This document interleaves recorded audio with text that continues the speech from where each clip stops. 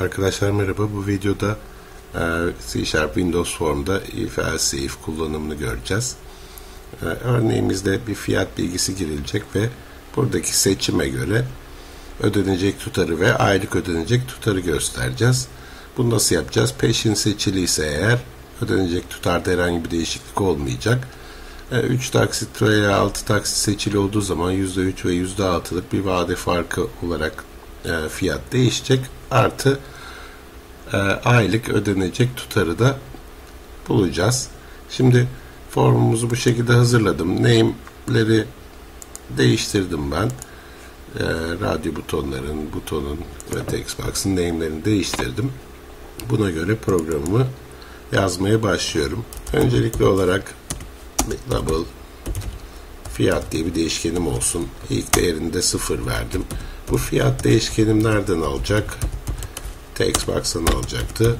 Şöyle hemen geliyorum. txt fiyat nokta text olarak verdim. Şimdi koşullarımı yazmaya başlıyorum. Eğer diyorum ki rb peşin seçiliyse fiyatta herhangi bir değişiklik olmayacaktı. Fiyat yine fiyat olarak kalsın. Else if diyoruz. Burada RB3 seçiliyse RB3.checked diyoruz. Evet. Burada fiyata %3'lük bir vade farkı demiştik. Arttırmamız gerekiyor fiyatı. Fiyat eşittir. Fiyat artı fiyat çarpı 0.03 diyebiliriz burada. Evet bu şekilde yapabiliriz. Ya da işte şunu yapmayıp artı eşittir koyarak da yapabilirdik bunu. Bu şekilde kalsın. Evet. Diğer ihtimalimiz 6 taksitti. Burada radyo butonlarda artık e, farz, ıı, farklı bir seçenek olmadığı için else diyerek de yapabiliriz bunu. Else diyorum. RB6 seçili demek artık. Evet, buradaki aynı şekilde bu kodu alabiliriz. Sadece farklılık olarak %6 demiştik. Bunu yapabiliriz. Bu arada ilk program açıldığında peşin seçili olsun istiyorsak burada bunu seçip checked özelliği var burada. Bu false durumda bunu true hale getirebiliriz. Buradan true yapabiliriz. Ya da işte form yüklendiği zaman kodda yapmak isterseniz bunu e, CHK pardon R radyo buton radyo buton peşin nokta checked eşittir true olarak gelsin diyebiliriz. Şimdi burada hesaplamalarımızı yaptık. Şimdi sonucu burada göstermek istiyoruz. Bunun name'ini LBL ödenecek olarak ayarlamıştık. LBL ödenecek de yazdıralım. Evet. Diyorum ki ödenecek tutar diyorum. Şöyle yanına fiyat değişkenini ekliyorum. Evet. Bir de şunu istiyorduk. Bir taksit tutarlarını da göstermek istiyorduk biz. Şimdilik bu böyle kalsın. Ben onun için de şöyle yine double taksit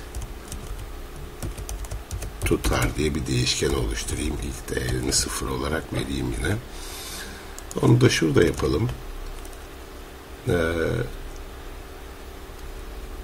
eğer taksit tutar yani peşin olduğu zaman taksit tutar eşittir yani yine fiyata eşit olacak demiştik.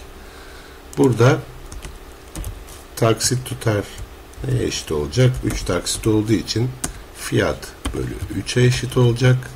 Burada da taksit tutar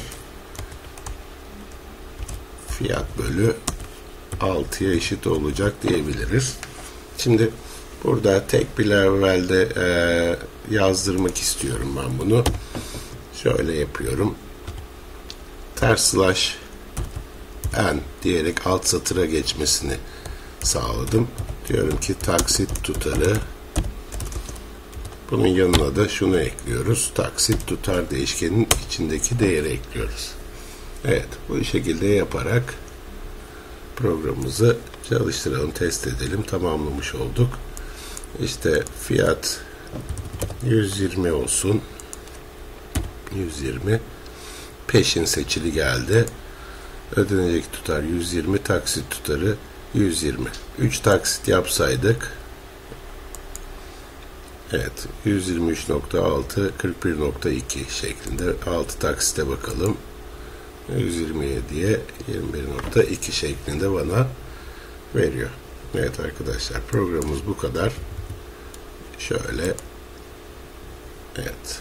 Şimdi burada mesela 100 verdiğimiz zaman e, uzayıp giden bir ibare görüyorum. Bunu da virgülden sonra e, iki basamak olacak şekilde yapmak istiyorum. Bunu da şu şekilde halledebiliriz.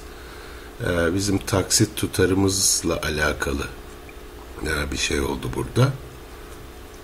Ne yapabiliriz? Şöyle yapabiliriz. Taksit tutarı burada. Taksit tutar eşittir.